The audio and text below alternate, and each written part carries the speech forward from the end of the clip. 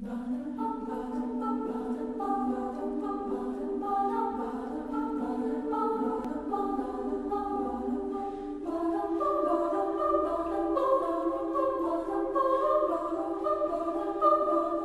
mälestused seostuvad eelkõige Soomega ja seostuvad juba selle ajaga, kui nõukogude ajal sai vaadatud Soome seriaale Soome televisioonist, hiljem ka uudiseid.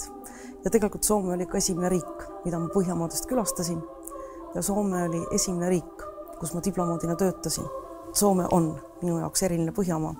ma võtaksin igalt Põhjamaalt ja igalt Balti riigilt midagi, kellelt mõne linnakese, kellelt mõne kultuurisündmuse kellelt mõned vahvad inimesed, aga ma tooksin nad kõik Eestisse, rikastaksin Eestit sellega, mida meile pakuvad Põhja ja Balti riigid. meid võetakse ühe regioonina. Põhjamaad, Balti riigid koos. me võime olla omavahel võistlejad selle sõna kõige paremas mõttes, aga ikkagi kõrvalt vaadates me saame olla edukad, kui me tegutseme koos. kui ma peaksin valima ühe teema, siis täna ma nimetaksin migratsioonikriisi see on teema, mis mõjutab kogu Euroopat. see on teema, millega Euroopa saab hakkama siis, kui me tegutseme koos.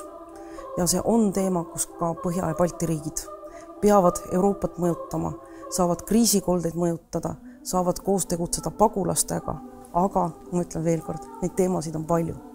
majandus, innovatsioon, need on teemad, mis kindlasti meie riiki ühendavad ja sellega tuleb kogu aeg tegeleda